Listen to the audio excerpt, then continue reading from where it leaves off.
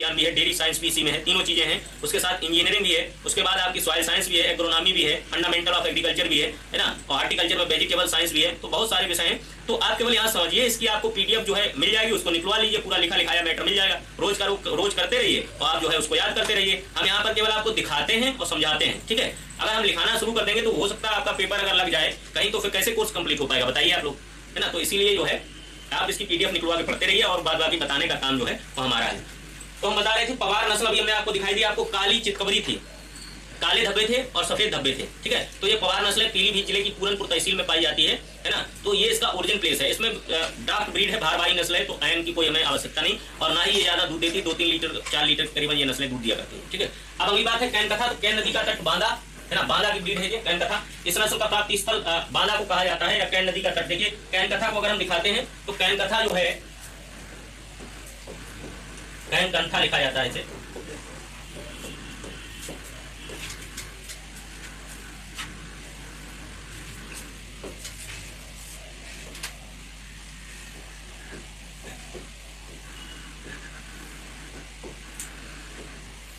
Can कथा। है ना? कैन कथा अगर देखेंगे तो ये देखिए आगे। कैन कंथा है। ये देखिए बांदा की नस्ल है। है ना? इस तरीके से हल्की सी मटमैली, काली, ना, काली सफ़ेद। अब देखिए, इसमें भी आपको कहीं पर अडर देखने को नहीं मिलेगा कैन कथा में। देखिए, बिल्कुल नील गाय है है ना? तो इसीलिए ये दूध बहुत कम देती है। तो ये जो है भारवाही नस्लें हैं और कहीं कहीं पर प्रदेश में इनको जो है पाला भी जाता है। इसलिए पाल लेते हैं कि अगर दो चार लीटर दूध की आवश्यकता है तो हल्का फुल्का जो है चारा गाँव में लिए गए, उसमें चराने के बाद और इसको जो है पाल लिया गया। लेकिन ये दाने आने पे ज़्यादा जो है नहीं पाली जा सकती है क्योंकि अगर ज़्यादा दाना भूसा देंगे तो ये इतना दूध तो देगी नहीं किसान को नुकसान हो जाएगा ठीक है? तो ये जो ब्रीड है ये भारवाही इसीलिए इसको भारवाही नस्ल कहा जाता है कैंसर को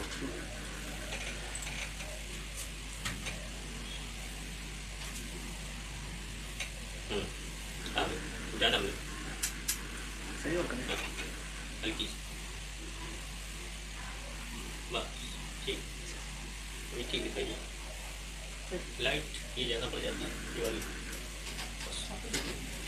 ठीक है? तो ये विद्यार्थियों देख रहे होंगे, आपको सब सही दिखाई दे रही होगी कैन कथा है। देखिए, इसमें अडर नहीं है बिल्कुल ये देखिए, अडर यहाँ पर जो होना चाहिए, बिल्कुल दिखाई नहीं दे रहा है आपको। सारी बाल में दिखाई दे रहा था, है ना? हॉलेस्टिन फ्रीजन में दिखाई दे रहा था, इसमें नहीं दिखाई दे रहा तो ये भारवाही नस्ल हो गई, है ना? इस तरीके की देखने में लगती है, यानी कि ये जो है काम करते हैं, केवल खेती किसानी का काम इनके जो है मेल्स उससे करवा लीजिए बैलों से तो हल जोतने के लिए प्रमुख रूप से ये काम करते हैं। पहाड़ी क्षेत्रों में भी इनके काम बटे हुए होते हैं, जैसे पहाड़ों पर जहाँ पर गायें रहती हैं या और भी जानवर रहते हैं तो वो बोझा ढोने के लिए यूज़ होते हैं कि बहुत सारा वज़न नीचे से ऊपर पहाड़ पर चलाना है तो इस तरीके के काम बैलगाड़ी चलाना है तो ये सारे काम जो है ये नस्लें कर देती हैं, ठीक है? और इनसे जो है और भी लेबर लोग बैलगाड़ी से कुछ चीज़ धोना इधर उधर ले जाना, ये कराया जाता है, ये मिल्क प्रोडक्शन के लिए प्रमुख रूप से नहीं, ठीक है? तो अब इसके बाद देखेंगे इन्हीं पशुओं को अब देखिए बुंदेलखंड रीजन की एक विशेष बात है कि इन पशुओं को ऐसे ही किसान जो है दूध देती नहीं है और कभी कभी ये गाय गर्भित भी नहीं होती क्योंकि देसी ब्रीड है, इनका खाना पीना मेंटेनेंस है नहीं सही तो ये जो गर्भित नहीं होती है तो किसान इनको आवारा छोड़ देता है। और जब आवारा किसान छोड़ देता है तो इन्हीं को ही बुंदेलखंड क्षेत्र में अन्ना पशु कहा जाता है। क्या कहा जाता है?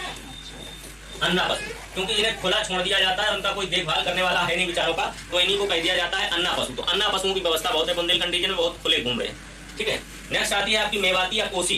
Mewati this is a double purpose breed of cow Mewati या कोसी एक ही नाम है, क्यों कोसी भी से कहते हैं मेवाती को? क्योंकि इसका जन्म स्थान कोसी कला मथुरा को माना जाता है। किसको माना जाता है? कोशी कला मथुरा को इसका जन्म स्थान माना जाता है। इसीलिए इस नस्ल का नाम है कोसी या मेवाती। ये द्विकाजी नस्ल है गाय की और इसका जन्म स्थान है कोसी कला मथुरा। ठीक है? तो मेवाती दिखाते हैं आपको कैसी होती है। मेवाती।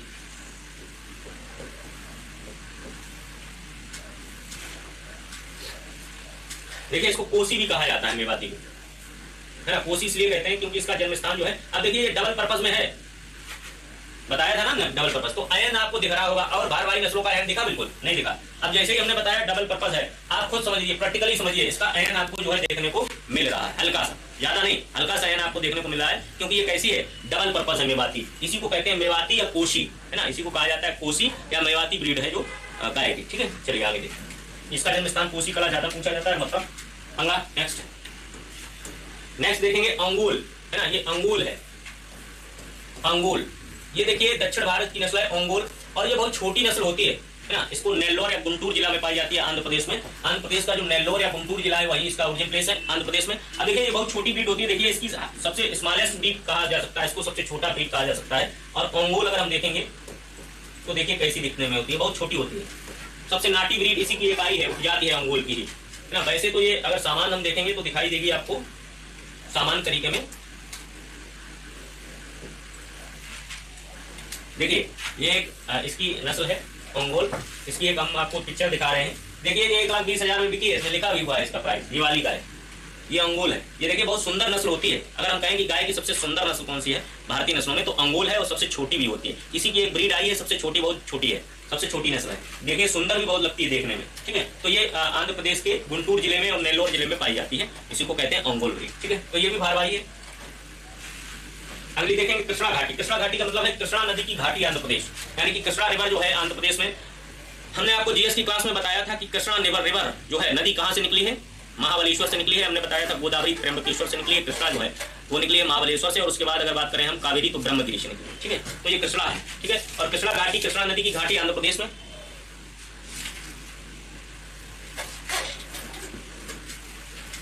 तो ये कृष्णा रिवर हुई नेक्स्ट देखेंगे खिल्लारी। तो खिल्लारी भी भारवाही है सोलापुर, सतारा। महाराष्ट्र में इसका जन्म स्थान माना जाता है, सोलापुर। सोलापुर, कोल्हापुर। ये दोनों जगह है महाराष्ट्र में, है ना? सतारा एक देखिए, रियासत थी। यहाँ पर लिखा हुआ है सतारा। सतारा रियासत थी और इसका विलय अंग्रेज़ों ने किया था।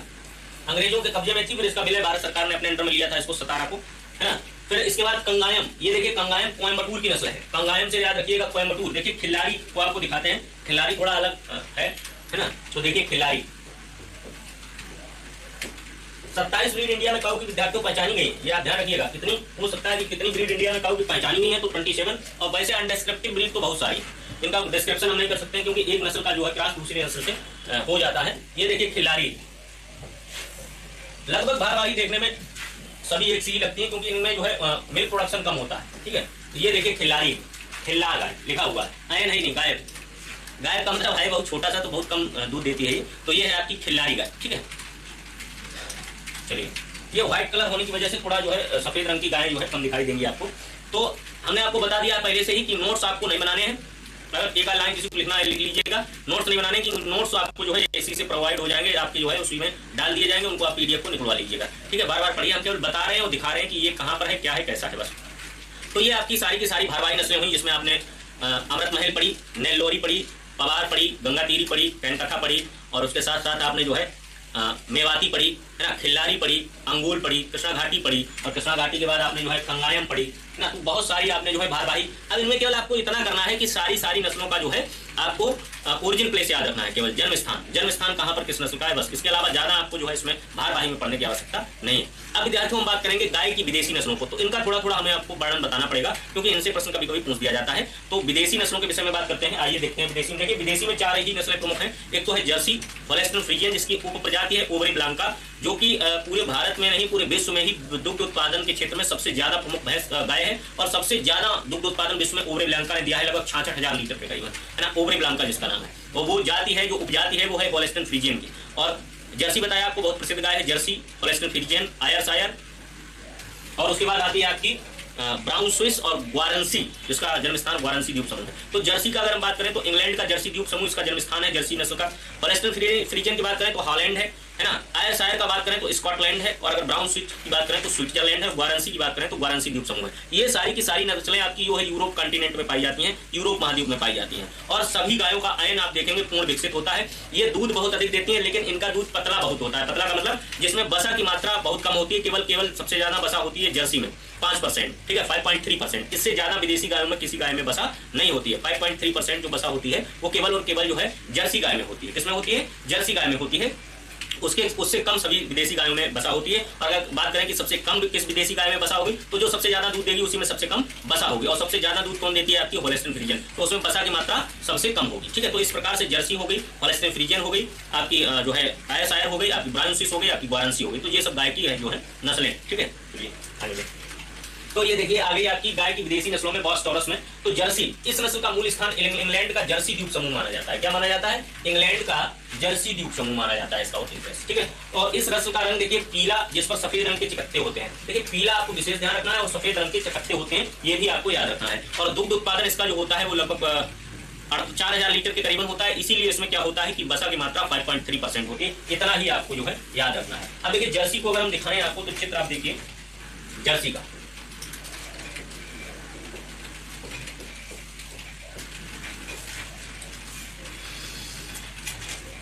ये देखिए। जर्सी बताया था ना, इसका रंग हल्का सा पीला होता है। ये देखिए। बहुत स्मार्ट गाय है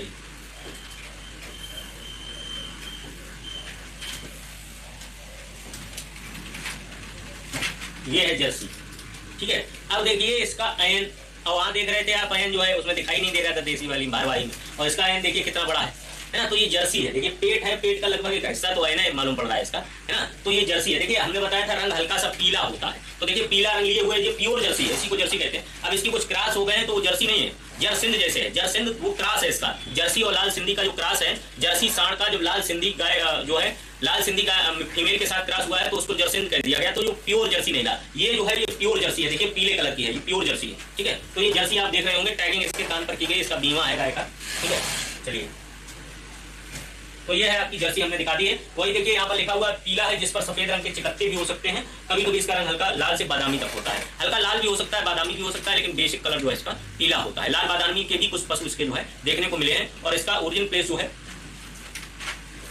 जर्सी द्वीप समूह माना जाता है इंग्लैंड का। कौन सा द्वीप समूह? जर्सी द्वीप समूह। ठीक है? तो ये बातें इतनी हो गई जर्सी के विषय में। अब अगली ब्रीड हम अगर देखें तो हॉलिस्टन फ्रीजियन तो हालेस्टर फ्रीजन का हमने बताया था जन्म स्थान जो है हॉलैंड है, और ये नस्ल विश्व की सबसे ज़्यादा दुग्ध देने वाली गाय की नस्ल है। इसकी एक प्रजाति और है, वो पूछी जा सकती है, ओबरी ब्लांका। वो छाछठ सौ लीटर तक एक ब्याज काल में दूध दी है, लेकिन अगर हॉलेस्टन फ्रीजन की हम बात करें तो पाँच से छह हज़ार लीटर तक दूध देती है, और इसके दुग्ध में बसा की प्रतिशत मात्रा साढ़े तीन परसेंट के करीबन पाई जाती है, और इसके शरीर पर लाल और सफ़ेद काले और सफ़ेद रंग के जो होते हैं, चकत्ते होते हैं। देखिए हॉलेस्टन फ्रीजन को हम देखेंगे, फिर दोबारा से एक बार हॉलेस्टन फ्रीजन देखिए, कितनी बड़ी नस्ल होती है। हॉलेस्टन फ्रीजियन देखिए हॉलेस्टन फ्रीजियन एक और हॉलेस्टन फ्रीजियन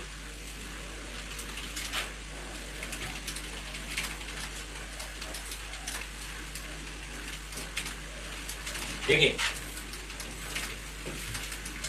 ये है हॉलेस्टन फ्रीजियन ऐसी ही आपने भारत में जो है क्रॉस देखा होगा, वो करन फ्राइज है। है ना? वो क्या है? करन फ्राइज और करन स्विस क्रॉस आपने देखे हैं, जो इस तरीके के लेकिन प्योर होलेस्टन फ्रीजर यही है अब देखिए इसका एन आप देखिए कितना बड़ा है, ठीक है?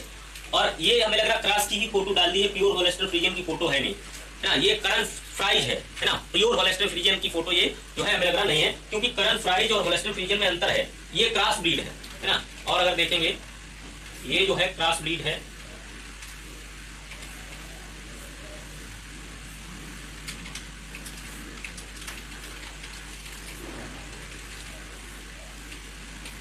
चलिए देख लीजिए इसी को।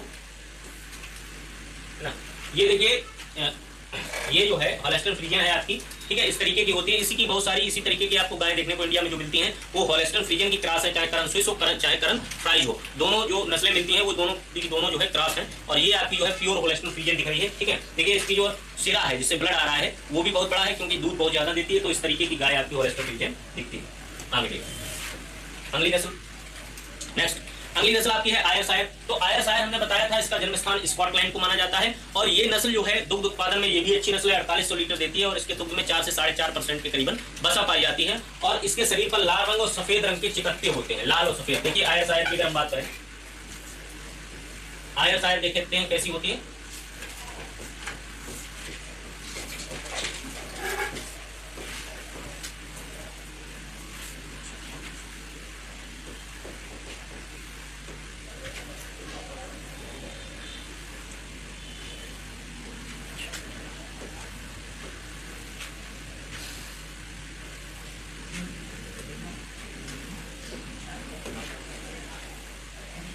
देखिए आया शायर आ गई तो इसमें हमने बताया था लाल से लेकर के और पीले रंग के चकत्ते होते हैं। लाल और सफ़ेद, है ना? लाल, सफ़ेद चकत्ते, देखिए, ये आ गया आपका लाल और सफ़ेद चकत्ते, ठीक है? पूरा का पूरा आपका उदाहरण यहीं पर मिल गया, ये आया शायर आ गई, ठीक है? देखिएगा आप आया शायर लाल और सफ़ेद चकत्ते हैं, इसी को हम आया शायर के नाम से जानते हैं।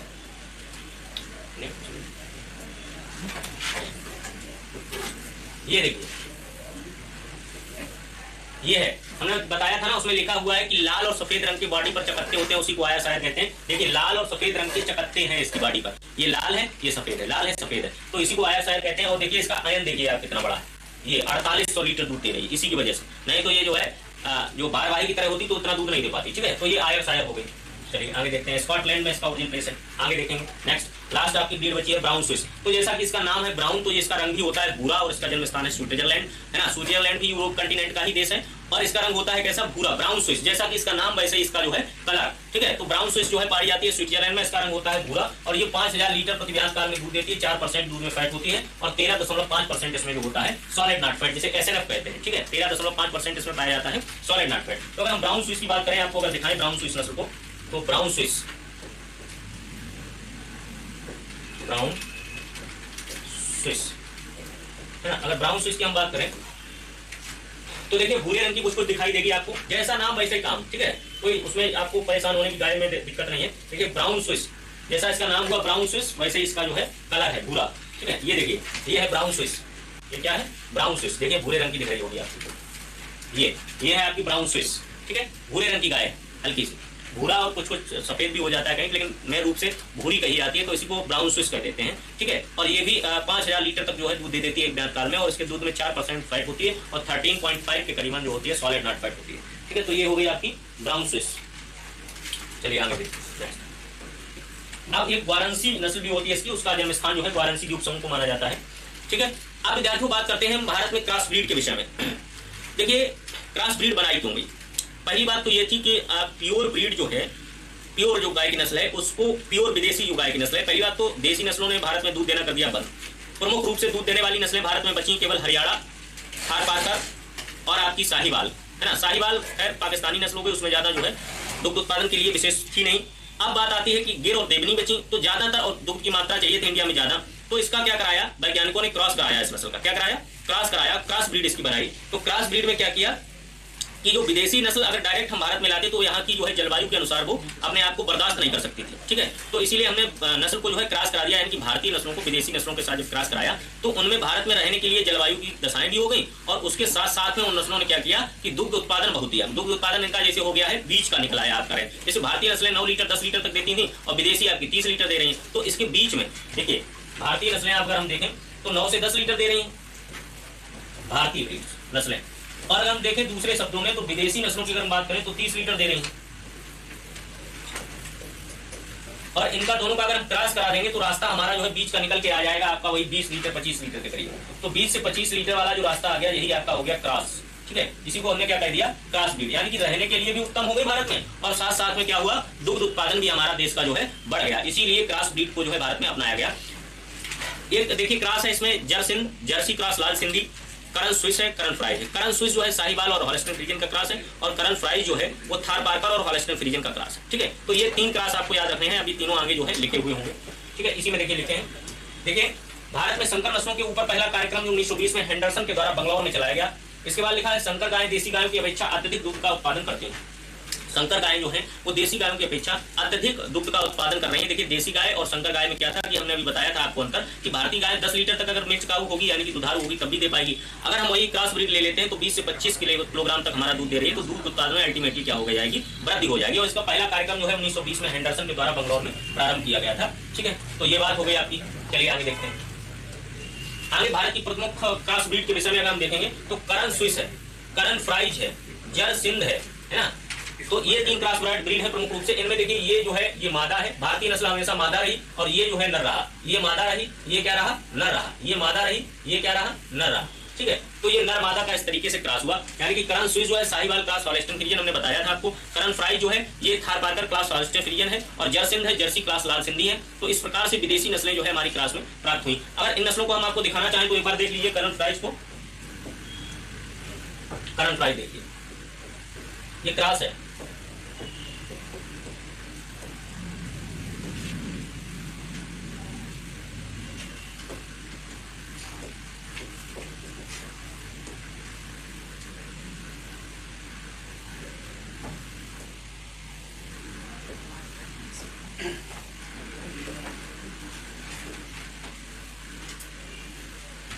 ये देखिए, अब देखिए उसमें स्पॉट ज़्यादा आ रहे थे, ये देखिए ये देखिए क्रॉस ब्रीड हो गई, है ना? कैसी ब्रीड हो गई क्रॉस हो गई। तो इस तरीके की नस्लें आपको इंडिया में देखने को मिलती होंगी। ये करंट फ्राइज है है ना? फ्राइज है।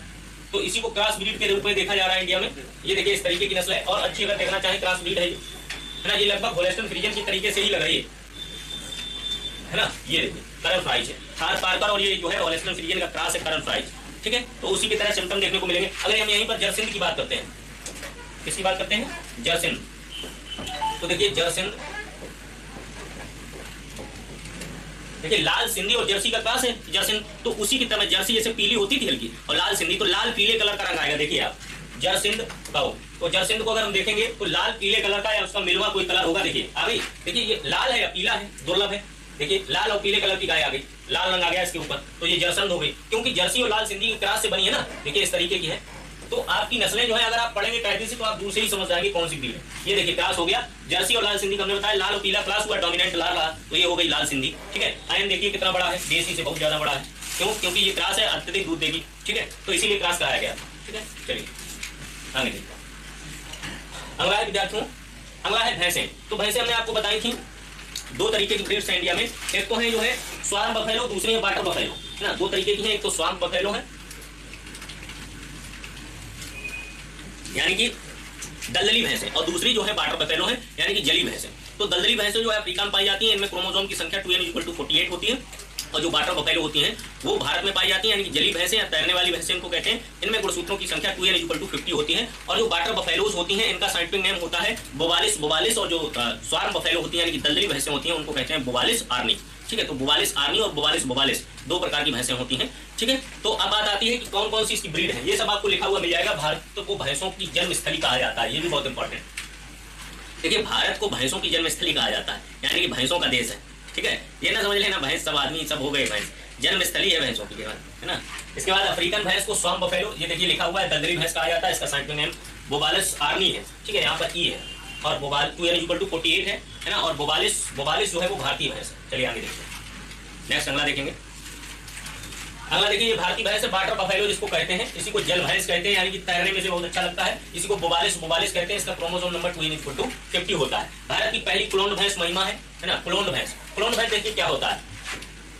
एक होता है सेक्सुअल रिप्रोडक्शन अगर जो है सेक्सुअल रिप्रोडक्शन गाय या भैंस में होता है तो उससे जो बच्चा बनता है, वो क्लोन नहीं होता है। अब गाय के या भैंस के शरीर से ही उसी की तरह सोमेटिक सेल्स के द्वारा हम नए बच्चे का निर्माण करते हैं this is known as clone clone buffalo या क्लोन काउ हो जाएगी। तो उसके जो है सोमेटिक सेल्स से इसका निर्माण किया गया था काय कोशिका से। तो उसी को कह दिया गया क्लोन भैंस। तो भारत की पहली क्लोन भैंस जो थी, उसका नाम था महिमा, ठीक है? और ये जो भारतीय भैंस हम बता रहे हैं बाटर बफेलो तो बाटर बफेलो आप देख रहे हैं, क्या है इसका नाम? बुबालिस बुबालिस और two N equal to fifty और उसका नाम था जो है बुबालिस army two N equal to forty eight वो दलदली भैंस थी, यानी कि अफ्रीका में पाई जाती है, ये भैंस जो है, भारतीय भैंस। तो इतना आपको क्लासिफिकेशन याद रखना है। अब आगे बात करते हैं। मुर्रा की। अब नेक्स्ट आएगी आपकी मुर्रा भैंस। ठीक है? भैंसों में आ गई मुर्रा। चलिए। अब मुर्रा का क्या क्या इंपॉर्टेंस हो सकता है? देखिए तो पहले ओरिजिन प्लेस इसका नहीं पूछा जाता है। दिल्ली है वैसे। दिल्ली और हरियाणा वाला क्षेत्र, करनाल, गुड़गांव वाला क्षेत्र इसका जन्म स्थान माना जाता है। इसकी विशेषताएँ क्या है कि काला स्या इसका रंग होता है। रंग कैसा होता है, काला स्या होता है। दूसरा इसके बॉडी पर सुनहरे बाल होते हैं। तीसरे इसके जो है सींग जो होते हैं, गोल छल्ले की तरीके से होते हैं। फिर इसका दुग्ध उत्पादन देखें हम तो 1700 से 1800 लीटर होता है। ठीक है तो ये देखिए इसके सब लिखे हुए दिल्ली या पंजाब का दक्षिणी भाग और हरियाणा का हिसार और रोहतक वाला क्षेत्र जो होता है, इसका ओरिजिन प्लेस है। रंग काला स्या कभी कभी शरीर पर सुनहरे बाल, ये देखिए बीचों में पूछा गया है कि शरीर पर कभी कभी सुनहरे बाल होते हैं, उस वो किस नस्ल के होते हैं? तो इसी को कह दिया, सुनहरे न कह उसने कहा भूरे बाल होते हैं शरीर पर। तो लड़के जो है भनावरी को लगा है। ये गलत है। शरीर पर भूरे बाल मुर्रा के भी होते हैं, ठीक है? बराबरी का तो रंग तांबा की तरह होता है, भूरा भी होता है, ठीक है ना? थोड़ा समझना पड़ता है वहाँ पर। और रंग जो होता है, काला, स्याह, इसका मुर्रा का होता है सींग गोल, छल्ले के तरीके होते हैं, ये तो सभी को पता होगा, है ना? और सत्रह सौ से अठारह सौ लीटर दूध देती है प्रतिज्ञान काल में। अब देखिए, आपको मुर्रा दिखा दे रहे हैं। वैसे देखिए, सभी ने होगी, इसका कोई जो है, तोड़ नहीं है। देखिए छोटे किसान के लिए नहीं, छोटे किसान के लिए अगर हम सबसे अच्छी भैंस की बात करें नस्ल की तो मुर्रा और सूटी के बीच की नस्ल है महसाना, सबसे अच्छी नस्ल है। और मुर्रा अगर आप देखेंगे, देखिए भाई इसको देख ही लेते हैं। है तो बड़ा खतरनाक। है ना? देखने में जो है, बिल्कुल आप समझ जाएँगे कि हाँ मुर्रा है। ना? ये देखिए, इसका भैंसा है। तो आगे से देखते हैं इसका चेहरा।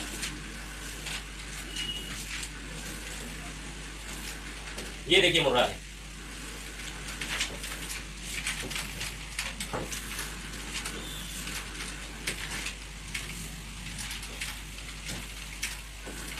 ये देखिए, मुर्रा। ठीक है? देखिए सींग बिल्कुल गोल है, रंग बिल्कुल काला से दिख रहा होगा आपको, है ना? तो ये मुर्रा भैंस है, ठीक है? दुग्ध उत्पादन इसका अच्छा होता है। तो ये इस तरीके से मुर्रा भैंस आपने देखी। तो ज़्यादातर लोगों ने देखी होगी, इसको ज़्यादा दिखाने की आवश्यकता है भी नहीं। तो इसका पूरा जो है, आपको याद करना है कि ओरिजिन कहाँ है। उसके बाद रंग काला स्या होता है, छल्ले की तरह सिंह होते हैं, बाड़ी पे कभी कभी भूरे या सुनहरे धब्बे पाए जाते हैं और दुग्ध उत्पादन सत्ता से अठारह सौ लीटर प्रति होता है। इतना आपको चलिए अगला है भदावरी। तो भदावरी जो है, इसका जन्म स्थान भदावर क्षेत्र, आगरा की बात तहसील का भदावर क्षेत्र माना जाता है।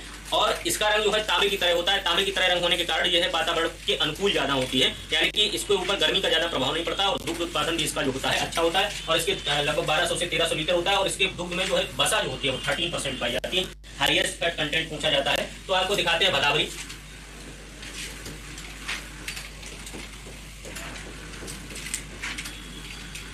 भदावरी भैंस के विषय में दिखाते हैं।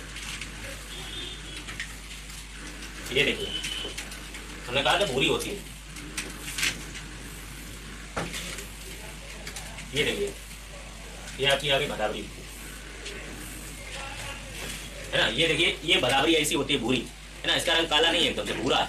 है ना? तो ये होती है भदावरी भैंस। इसके ऊपर ज़्यादा टेम्परेचर का प्रभाव नहीं पड़ता है। उसके दूध में तेरह परसेंट बसा होती है, वो बारह सौ से तेरह सौ लीटर दुग्ध उत्पादन होता है। और इसका ओरिजिन प्लेस आगरा की बात तहसील का भदावर क्षेत्र माना जाता है। और इसमें जो है सबसे ज़्यादा फैट कंटेंट होता है। बसा की प्रतिशत मात्रा सबसे अधिक होती है। इतना आपको इसमें जो है पढ़ना है।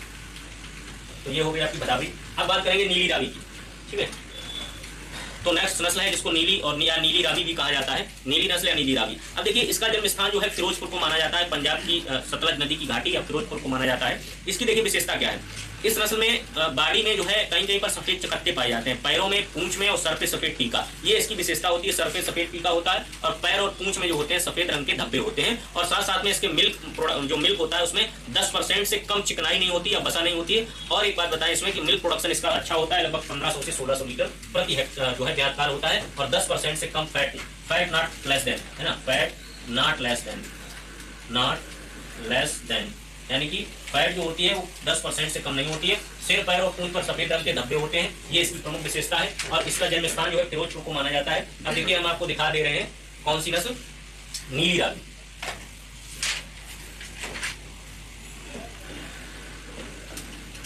कुछ लोगों ने नहीं देखी होगी, है ना? नीली रावी नीली रावी देखिए, हमने बताया है ना आपको कि सर, पैर और पूंछ पर सफ़ेद रंग का धब्बा, ये इसका जो है प्रमुख गुण है, देखिए। ये इसमें प्रमुख विशेषता होती है इसकी नस्ल की, है ना? कौन सी प्रमुख विशेषता होती है? सिर, पैर और पूंछ पर सफ़ेद रंग का धब्बा दिस इज़ नॉन एज नीली रावी, ठीक है? ये नीली रावी की प्रमुख पहचान होती है, नीली रावी नस्ल की।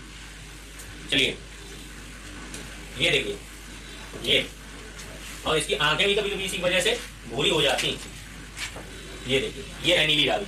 ये देखिए, मुँह बिल्कुल सफ़ेद है और पैर के नीचे और नीचे देखिए, पूंछ भी, ये देखिए, पूंछ सफ़ेद है, पूंछ वाला गुच्छा, ये सफ़ेद है, ये पैर सब नीचे वाले सफ़ेद है। इसी को it is also known as पच कल्याणी इसी को कहा जाता है पच कल्याणी भैंस की नस्ल कौन सी है? बीएचओ में पूछा गया है, भैंस की पच कल्याणी नस्ल कौन सी है? तो इसी को पच कल्याणी कहते हैं, है ना? पैर देखिए, सफ़ेद, सर पे सफ़ेद माथा है, टीका है, और ये जो है पूंछ भी सफ़ेद, है ना? और देखिए, इसके स्पॉट अयन पर भी आ गया, अटल पर भी। बॉडी काली होती है, देखिए, बॉडी पूरी काली है तो दिस इज़ नॉन एज पच कल्याणी ब्रेक जिसको हम नीली रावी कहते हैं, ठीक है? तो ये इस प्रकार की होती है।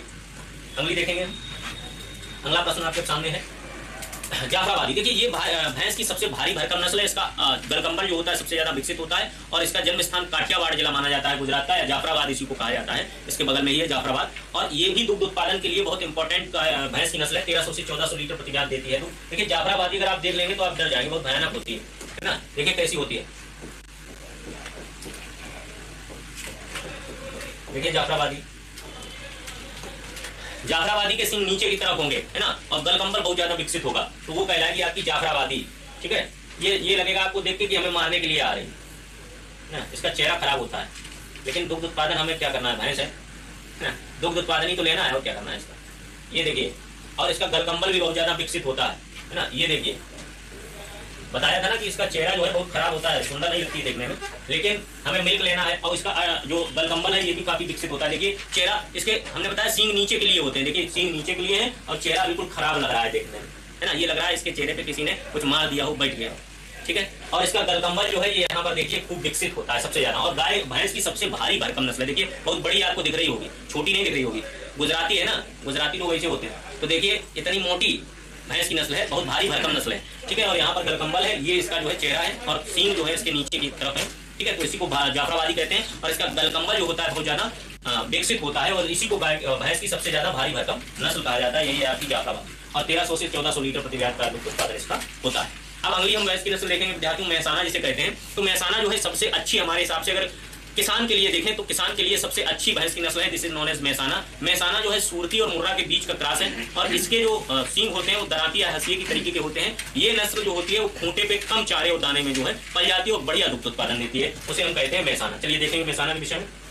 पहले आपको मैसाना दिखा दे रहे हैं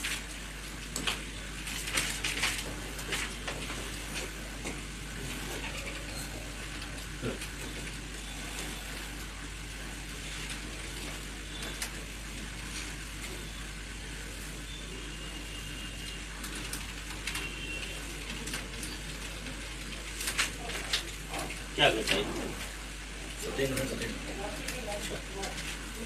अभी बता रहे हैं आपको। मैसाना देखिए, ये सबसे अच्छी क्रॉस ब्रीड है। हमने क्रॉस ब्रीड क्या? क्रॉस ब्रीड ही समझ लें, सूरती और उसके बीच की जो है नस्ल है, किसके किसके बीच की? सूरती और मुर्रा के, ठीक है?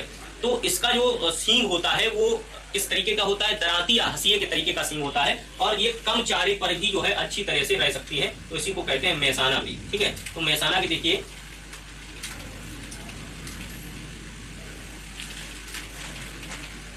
मैसाना जो है, आपकी इसमें चलिए। मैसाना दरअसल क्रॉस है ना तो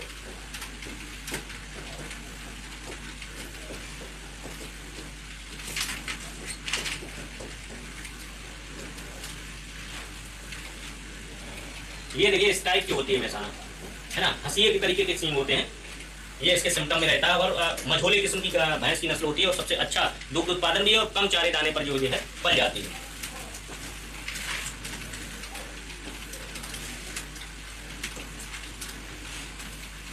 ये देखिए ये है मेहसाना। देखिए हसीए की तरह सींग बताए थे ना तो यहाँ पर अगर देखेंगे, ये सींग जो है, हसीए की तरीके से। ये देखिए हसिया जैसा हसिया होता है ना घास काटने वाला, उसी तरीके के इसके सींग होते हैं तो ये इसकी विशेषता होती है, ठीक है? और इसका जन्म स्थान जो है, महसाना जिला माना जाता है। आगे देखेंगे इसमें। तो देखिए, मुर्रा और सूरती के बीच की नस्ल है, जो गुजरात के महसाना जिला में पाई जाती है। हमने बताया था ना, जिला महसाना है। और नस्ल सूखा समय बहुत कम रहता है, यानी कि ड्राई पीरियड इसका जो होता है इस नस्ल का ड्राई पीरियड यानी ड्राई पीरियड क्या होता है कि जब भैंस ने या गाय ने किसी ने भी दूध देना बंद किया और फिर नेक्स्ट उसकी कालमिंग हुई। तो उतने बीच के समय को जो होता है, वो ड्राई पीरियड हम कहते हैं, सूखा समय कहते हैं, ठीक है? तो सूखा समय इसका जो होता है, वो बहुत कम रहता है, इसलिए कृषकों के लिए, सबसे अच्छी किसानों के लिए ये नस्ल जो है बताई गई है, ठीक है? तो कम चारे में भी पाली जा सकती है। चारा जो होता है, कम चारे में पाली जा सकती है, इसको भैंस की सबसे उत्तम नस्ल कहते हैं। कैसी नस्ल कहते हैं? सबसे उत्तम नस्ल किसानों के लिए कहा जाता है और तेरह से अठारह सौ लीटर तक प्रतिज्ञा दूध उत्पादन देती है। तो इसे कहेंगे मैसाना ब्रीड इसकी भैंस की मैसाना ब्रीड हो गई। तो ये विद्यार्थियों, आज आपका जो है हमने भारवाही गाय की नस्लें। मैसाना जो भैंस की नस्लें हैं, है ना? भारवाही गाय की नस्लें हैं, विदेशी गाय की नस्लें और क्रॉस ब्रीड है ना? जर करन स्विस करन फ्राइज अच्छा। अच्छा ठीक है ठीक है बेटा, सत्येंद्र। उसमें गलती ये हो गई है, आपने बताया था, हमें ध्यान आ गया। करन शायद हमने दो चीज़ें एक साथ ही उसमें टाइप थी करन फ्राइज और करन स्विस। ऐसा कुछ है? उसमें दोनों में हॉलेस्टन फ्रीजियन क्रॉस में कर दिया था तो जिसमें स्विस है तो आप समझ लीजिए कि स्विस का मतलब है ब्राउन स्विस से क्रॉस हुआ है। बस इतना समझिए आप, ठीक है? दोनों नाम सेम सेम है ना? उसमें बता रहा है ना करन स्विस करन फ्राइज है ना? तो करंट स्विच जो है वो ब्राउन स्विच से क्रॉस हो जाएगी, वो फ्राइज है तो हॉलेस्टन फ्रीजन से हो जाएगी, कोई इसमें इतनी बड़ी समस्या वाली बात तो है नहीं कि करंट स्विच है जो। तो ब्राउन जो स्विस है स्विच तो स्विस का मतलब ब्राउन स्विस वाला जो है मेल है। और अगर फ्राइज है तो होलेस्टन फ्रीजियन वाला मेल है। ठीक है? जर सिंध है तो जर्सी लाल सिंधी हो गई। ठीक है? तो इस तरीके से क्रॉस है उसका। ठीक है? तो उसमें एक होलेस्टन फ्रीजियन की जगह पे ब्राउन स्विस करवा देंगे। ठीक है? चलिए। चलिए, अब इसके बाद आपकी जो है आर्टिकल्चर की क्लास होगी। ठीक है? और अगले क्लास में जो है हम फिर पशुपालन की क्लास में तो नेक्स्ट क्लासिफिकेशन जो है पोल्ट्री का बताएँगे आपको नस्लों के विषय में।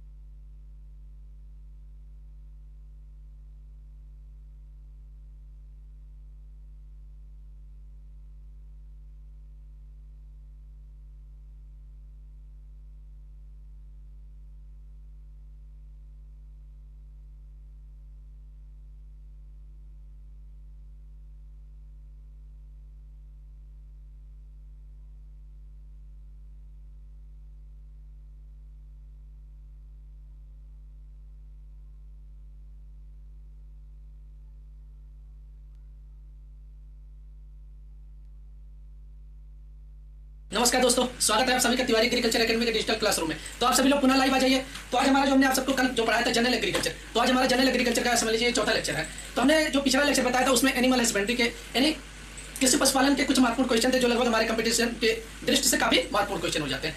तो जो हमने आप सबको कम से कम कल साठ से सत्तर क्वेश्चन बताए थे। तो उसको आप एक एक क्वेश्चन अच्छे से याद करते रहिए, जिससे आप सबके दस क्वेश्चन तो एनिमल हस्बेंड्री में आते, बाकी सब पढ़ा रहे हैं। तो उससे भी आपका कंसेप्ट जो रहेगा, जो थ्योरी बेस पे कंसेप्ट अगर कंसेप्ट बेस पे पूछ लेता है वो भी क्लियर हो जाएगा। प्लस वन लाइनर क्वेश्चन जो पूछे जाते हैं, महत्वपूर्ण क्वेश्चन होते हैं, उसको इधर से हम जनरल एग्रीकल्चर के रूप में कंप्लीट करा रहे हैं। तो आप सभी जितने भी स्टूडेंट हैं, हमने आप सबको बताया था कि आप सभी लोग थोड़ा थोड़ा सहयोग करिए, कि जो आपके संपर्क में जो भी बच्चे हैं स्टूडेंट है उनको ज्वाइन कराने की कोशिश करिए। तो एक बार पुनः करें कि आप सबके संपर्क में जितने भी बच्चे हैं, कोशिश करिए कि हर स्टूडेंट एक से दो बच्चे अगर ज्वाइन करा देता है तो काफ़ी आप सबका सपोर्ट मिल जाएगा। तो चलिए हम आप सभी से हमें उम्मीद होगा कि आप ज़रूर कोशिश करेंगे। तो चलिए आज की क्लास हम स्टार्ट करते हैं।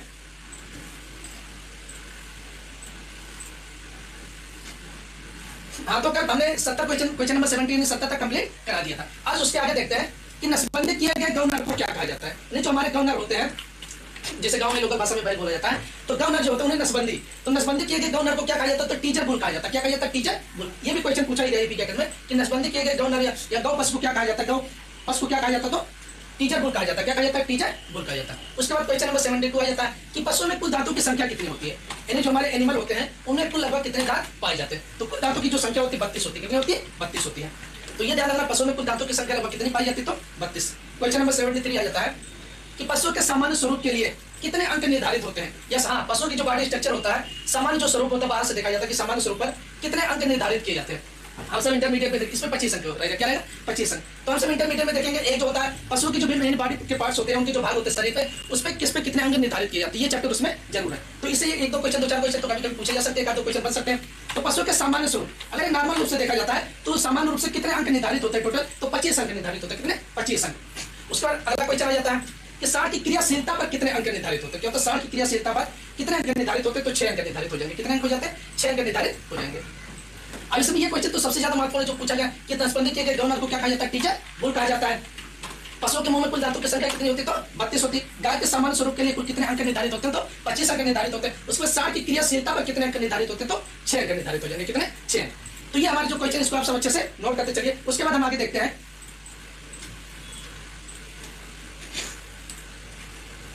अगला क्वेश्चन सेवेंटी फाइव नंबर आया था कि पशुओं को चिन्हित करने की सर्वोत्तम विधि क्या है? यानी पशुओं को अगर देखा जाता है कि चिन्हित जो किया जाता है, यानी उसको जैसे अब चिन्हित क्यों किया जाता है? जैसे भीड़ में कई लोग पशु को लेकर चराने के लिए चारा गाँव में ले जाते हैं। तो भीड़ में पशु आपस में मिल सकते हैं। क्या हो सकते हैं? मिल सकते हैं। तो उनको पहचानने के लिए क्या किया जाता है? उन्हें उन्हें चिन्हित किया जाता है। क्या किया जाता है? चिन्हित किया जाता है। तो पशुओं को चिन्हित करने की जो सर्वोत्तम विधि होती है टैटोइंग हो जाएगा। क्या हो जाएगा? टैटोइंग हो जाएगा। जैसे किसी किसी में हो जाता है कि कान काट कर हो जाता है, छल्ला पहना कर या टैग लगा क्या होता है? टैग लगा कर तो इन सभी विधियों से लगभग पशुओं को मतलब चिन्हित किया जाता है। तो विभिन्न लोग अलग अलग लोग, अलग अलग मेथड या विधियों से पशुओं को पहचाना यानी उसको पहचानने के लिए चिन्ह लगाते हैं। तो जो इसमें सर्वोत्तम विधि मानी जाती है कि पशुओं को चिन्हित करने की सर्वोत्तम विधि कौन सी होती है तो टैटोइंग मेथड होता है। कौन सा? टैटोइंग विधि। क्वेश्चन नंबर सेवेंटी सिक्स आ जाता है कि सिंह रोधन की सर्वोत्तम विधि। हाँ ये भी क्वेश्चन पूछा गया कि सिंह रोधन की सर्वोत्तम विधि कौन सी होती है तो कास्टिक पोटास की छड़ द्वारा। किसके द्वारा किया जाता है कास्टिक पोटास की छड़ द्वारा किया जाता है। तो ये क्वेश्चन तो बहुत ही महत्वपूर्ण लगभग कई बार पूछा गया। कि पशुओं को चिन्हित करने के यानी पशुओं को सिंह रोधन के लिए सर्वोत्तम विधि कौन सी होती है? तो कास्टिक पोटास की छड़ द्वारा इन्हें सिंह रोधन किया जाता है। क्वेश्चन नंबर सेवेंटी सेवन आ जाता है कि मुर्गियों को चिन्हित करने के लिए किसका किसका प्रयोग करते हैं? किसका टेटिंग का प्रयोग करते हैं? किसका टेगिंग हो जाएगा सॉरी टेगिंग का प्रयोग किया जाता है। किसका टेगिंग का प्रयोग किया जाता है? क्वेश्चन नंबर सेवेंटी एट आ जाती है। ये क्वेश्चन कई बार पूछा गया है कि पशुओं को बधियाकरण करने के लिए किस यंत्र का प्रयोग किया जाता है? ये दोनों क्वेश्चन जैसे सिंगरोधन करने के लिए और बधियाकरण करने के लिए। तो सिंगरोधन के लिए हम कास्टिक पोटास की छड़ का प्रयोग करते हैं और बधियाकरण करने के लिए हम किसका प्रयोग करते हैं? तो बधियाकरण करने के लिए किसका प्रयोग करते हैं? वर्डिजो कैस्टेटर का प्रयोग किया जाता है। किसका प्रयोग किया जाता है? वर्डिजो कैस्टेटर का प्रयोग किया इसमें दो क्वेश्चन तो हमारे सबसे ज़्यादा महत्वपूर्ण नंबर एक, सिंगरोधन कर, पशु में सिंगरोधन किस द्वारा किया जाता है? तो कास्टिक पोटास की छड़ द्वारा। और दूसरा जो हमारा ये भी क्वेश्चन महत्वपूर्ण है कि पशुओं को बधियाकरण करने की कौन सी विधि या किस यंत्र का प्रयोग किया जाता है? तो वर्डिजो कैस्टेटर नामक यंत्र का किसका? वर्डिजो कैस्टेटर नामक यंत्र का प्रयोग किया जाता है। ये जो जनरल क्वेश्चन हमारे चल रहे हैं तो समझ लीजिए जनरल एग्रीकल्चर में कहीं से भी कोई भी क्वेश्चन हो सकते हैं तो उसको आप अच्छे से याद करते चलिए। उसके बाद हम आगे देखते हैं। अब देखिए भाई क्वेश्चन वहाँ पर फिर आगे सेवेंटी नाइन कि नसबंदी के डोनर को क्या कहा जाता है? तो टीचर बुल कहा जाता है। क्वेश्चन उसका आ जाता है कि बच्चियों को बधियाकरण करना क्या कहते हैं? यानी बच्चियाँ जो होती है, उन्हें बधियाकरण करने की क्रिया को क्या कहा जाता है? स्पेइंग कहा जाता है। क्या कहा जाता है? स्पेइंग कहा जाता है। क्वेश्चन नंबर एट्टी वन आ जाता है कि सार को नियंत्रित करने के लिए अब जो सार होते हैं उन्हें नियंत्रित करने के लिए किस किस यंत्र का प्रयोग किया जाता है? जैसे मानते हैं कोई भी जैसे बीमारी हो गया या किसी कारण बस उन्हें नियंत्रित करके गिराना है नियंत्रित करके गिराने के लिए किसका प्रयोग किया जाता है? किस किस यंत्र का प्रयोग किया जाता है? तो पहला हो जाए बुल बुल होल्डर हो जाएगा। क्या हो जाएगा? बुल होल्डर हो जाएगा। दूसरा हो जाएगा बुल रिंग हो जाएगा। क्या हो जाएगा? Bull ring. और तीसरा हमारा क्या हो जाएगा? बुल मास्क हो जाएगा। क्या हो जाएगा? Bull mask. तो ये आपको ध्यान रखना कि पशुओं को नियंत्रित करने के लिए किन किन यंत्रों का प्रयोग किया जाता है। तो पहला ये रहेगा पहला यानी इसमें तीन यंत्र बुल होल्डर हो जाएगा। दूसरा है बुल रिंग हो जाएगा। तीसरा क्या हो जाएगा? बुल मास्क हो जाएगा। क्या हो जाएगा? Bull mask. Question number eighty one आ जाता है। कि साढ़ के वीर का पीएच मान यानी जो स्पर्म होता है, साढ़ का उस, इस पर वीर जैसे बोला जाता है, इस पर उसका पीएच मान कितना होता है? तो 6.7 होता है। कितना होता है? 6.7 तो इसको भी आप नोट कर लीजिएगा कि साढ़ के इस पर वीर का पीएच मान कितना होता है? तो 6.7 होता है। ये जो क्वेश्चन है, ये ईपी कैटेगरी में पूछा गया है। तो इसीलिए जैसे सिंगरोधन के लिए कौन सा सबसे अच्छी विधि? तो कास्टिक पोटास की छड़ द्वारा बधियाकरण करने के लिए किस यंत्र का प्रयोग किया जाता है? तो वडिजो कैस्टेटर ये दो तीन क्वेश्चन काफ़ी महत्वपूर्ण है। नसबंदी किया गया डोनर को क्या कहा जाता है? टीचर बच्चियों को बधिया करना स्प्रेइंग कहा जाता है। और सांड को नियंत्रित करने के लिए किस किस यंत्र का प्रयोग किया जाता है? बुल होल्डर हो जाएगा, बुल रिंग और बुल मास्क हो जाएगा। सांड के वीर या स्पर्म का पीएच सिक्स पॉइंट सेवन होता है। अब हम आगे देखते हैं। अब देखिए, यहाँ पर क्वेश्चन नंबर एट्टी थ्री आ गया।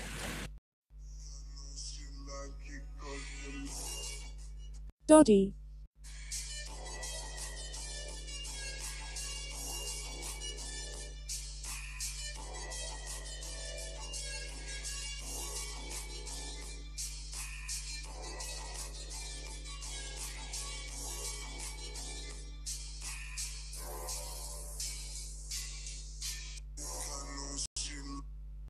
थ्री क्वेश्चन पूछा जा सकता है कि भारत में सर्वप्रथम कृत्रिम गर्भाधान किसने किया? या कब किया गया? तो दोनों क्वेश्चन यहाँ पर पूछा जाता है कि भारत में सर्वप्रथम कृत्रिम गर्भाधान किसने और कब किया? तो अगर पूछ लेता किसने किया? तो किसने अगर पूछ लेगा तो डॉक्टर संपत कुमार। किसने किया था? डॉक्टर संपत कुमार। अब कब किया गया था उन्नीस में इन्होंने किया था। कब किया था? उन्नीस सौ उनतालीस में। मतलब कृत्रिम रूप से। क्या? कृत्रिम रूप से। आर्टिफिशियल रूप से। इन्होंने सर्वप्रथम कृत्रिम गर्भाधान कब किया था? तो उन्नीस में डॉक्टर संपत कुमार ने किया था। किसने किया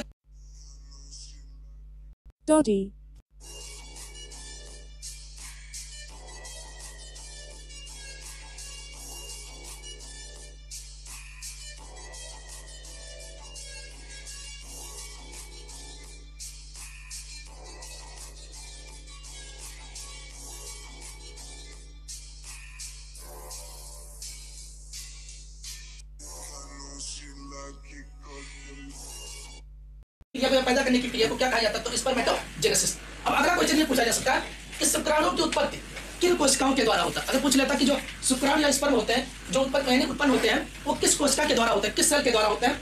तो स्पर्मेटोगोनिया इसके द्वारा स्पर्मेटोगोनिया कोशिकाओं के द्वारा होता है। किसके द्वारा? स्पर्मेटोगोनिया कोशिकाओं के द्वारा तो ये दो क्वेश्चन आपके लिए तो महत्वपूर्ण बन जाता है कि शुक्राणु उत्पन्न करने की क्रिया को क्या कहा जाता है? स्पर्मेटोजेनेसिस कहा जाता है। शुक्राणु की उत्पत्ति किन कोशिका के द्वारा होती है? तो स्पर्मेटोगोनिया कोशिकाओं के द्वारा होता है। किसके द्वारा होता है? स्पर्मेटोगोनिया कोशिकाओं के द्वारा होता है। भारत में सर्वप्रथम कृत्रिम गर्भाधान डॉक्टर संपत कुमार ने कब किया था? उन्नीस में। अब ये क्वेश्चन आ जाता है नाइनटी। कि बीबीसी परीक्षण द्वारा। बीबीसी परीक्षण का टेस्ट किया जाता है। क्या परीक्षण का टेस्ट किया जाता है? जिसके द्वारा किस किस चीज़ का पता लगाया जाता है। तो बीबीसी परीक्षण द्वारा वीर या स्पर्म जो होता है, क्या होता है? वीर या स्पर्म की शुद्धता तथा उसके स्वच्छता का पता लगाया जाता है। किसका? वीर या स्पर्म जो होता है। तो ये आप अलग से नोट कर लीजिए हो सकता है, कभी पूछा जा सकता है कि बीबीसी परीक्षण द्वारा किसका पता लगाया जाता है? यानी किसकी चीज़ का परीक्षण किया जाता है? तो स्पर्म या जो, स्पर्म या वीर जो होता है, उसकी शुद्धता एवं स्वच्छता का पता लगाया जाता है। किसका? वीर की शुद्धता एवं स्वच्छता का पता लगाया जाता है।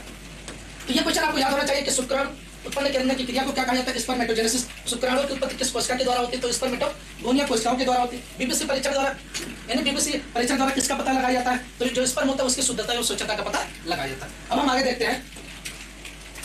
क्वेश्चन नंबर आ जाता है 91 अब जाता है एमबीआर क्या जाता है? एमबीआर एमबीआर परीक्षण द्वारा किसका पता लगाया जाता है? वीर या स्पर्म में शुक्राणुओं की संख्या। किसका? वीर या स्पर्म जो होता है, उसमें शुक्राणुओं की संख्या तथा उनकी गत का पता लगाया जाता है। तो यह भी क्वेश्चन पूछा जा सकता है।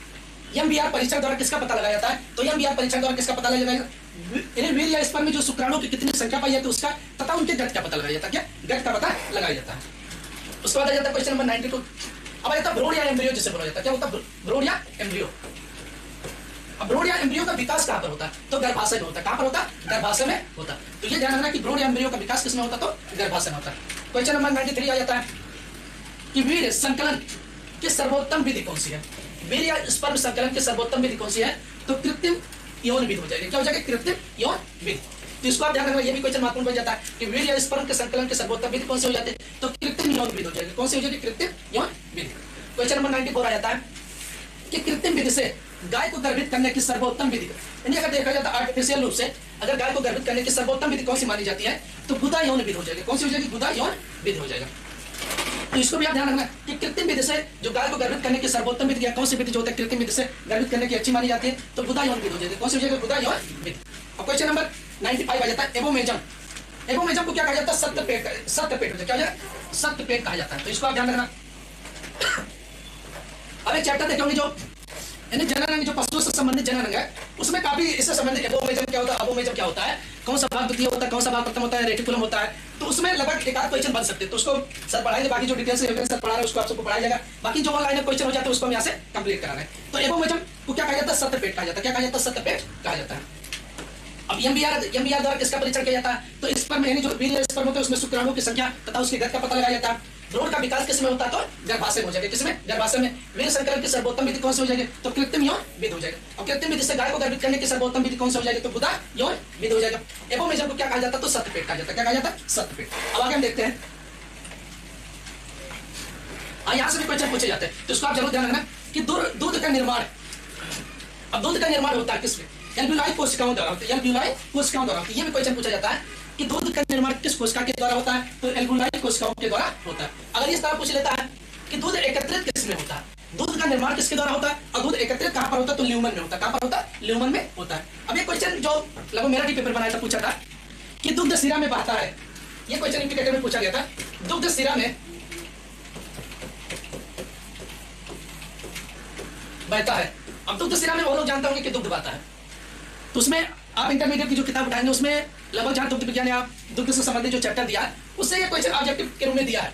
तो वही क्वेश्चन वहाँ से उठा, उठा के पूछा गया था कि दुग्ध सिरा में बहता है। तो दुग्ध सिरा में क्या बात है? दुग्ध रक्त बहता क्या? रक्त तो ये क्वेश्चन वहाँ पर ये पूछा गया था।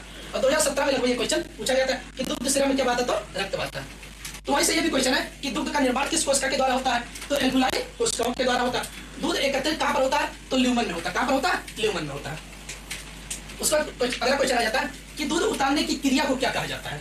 लेट डाउन हाँ। कि दूध उतारने की क्रिया को क्या कहा जाता है? तो लेट डाउन कहा जाता है। क्या कहा जाता है? लेट डाउन मतलब वो नीचे किया जा रहा है। क्या? निकाला जा रहा है। लेट डाउन मतलब नीचे की तरफ़ आप सब देखे होंगे, दूध निकाला जाता है तो नीचे की तरफ़ भी निकाला जाता है। तो दूध, ये भी क्वेश्चन महत्वपूर्ण बन जाता है कि दूध उतारने की क्रिया को क्या कहा जाता है? तो लेट डाउन उसका अगला क्वेश्चन आ जाता है नाइनटी कि लेट डाउन की क्रिया करने के लिए किस हार्मोन का प्रयोग किया जाता है? या इस तरह भी पूछा जा सकता है? या इस तरह पूछा जा सकता है कि दूध उतारने के लिए किस हार्मोन का प्रयोग किया जाता है? तो ऑक्सीटोसिन ऑक्सीटोसिन एक दवा जो हार्मोन के रूप में कार्य करता है। देखते हुए हम हमने देखा है कि पशुओं को यानी दुग्ध निकालने के लगभग दस मिनट या पाँच मिनट पहले उसको लगा देते क्या होता है? लगा देंगे उसके बाद लगाने के बाद उसके बाद दो चार पाँच मिनट बाद क्या होता है? जो दूध होता है वो थन में अपने आप आ जाता है। और ये इस, दूध थन में आ जाएगा और इसका जो प्रभाव रहता है ये पाँच से सात मिनट तक रहता है। कितने समय तक रहता है? पाँच से सात मिनट तक रहता है। तो ये भी क्वेश्चन पूछा गया क्रिकेटर में। कि ऑक्सीटोसिन का प्रभाव कितने समय तक रहता है? तो ऑक्सीटोसिन का जो प्रभाव रहेगा वो पाँच से सात पाँच से सात मिनट तक रहता है। कितने? पाँच से सात मिनट तक रहता है। तो यहाँ से एक क्वेश्चन ज़रूर बन सकता है हमारे पेपर में। तो पहला ये ध्यान रखना कि दूध उतारने की क्रिया को क्या कहा जाता है? लेट डाउन कहा जाता है। क्या कहा जाता है? लेट डाउन अब दूध उतारने के लिए लेट डाउन क्रिया करने के लिए किस हार्मोन का प्रयोग किया जाता है? तो ऑक्सीटोसिन का प्रयोग किया जाता है। किसका? ऑक्सीटोसिन का प्रयोग किया जाता है। ऑक्सीटोसिन का जो होता है, प्रभाव कितने समय तक रहता है?